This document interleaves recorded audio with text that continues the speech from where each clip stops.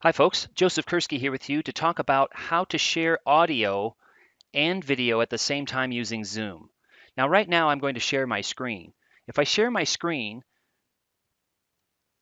what I'm going to do is over here on the left side, share computer sound. I'm going to have that box checked. Then I'm going to share my screen and share my desktop. Okay, so now I'm sharing my desktop with you all. And what I'm going to do now is play a video that I have stored locally. So if I go to this video right here, I'm going to share this video with you.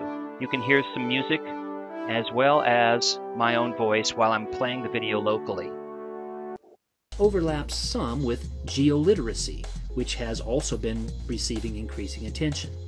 My working definition of spatial thinking is identifying, analyzing, and understanding the location, scale, patterns, and trends of the, of the geographic, geographic and temporal temporal relationships relationships among among data, data, phenomena, phenomena, and, and issues. issues.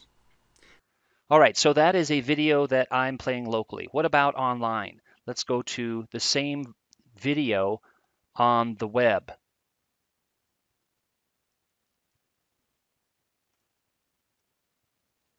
So here's my video on the web. GIS as a support system in the K 12 curriculum. However, in many ways, we in the GIS education community have been supporting and fostering and promoting GIS in spatial thinking for far longer than that. Indeed, for over 20 years.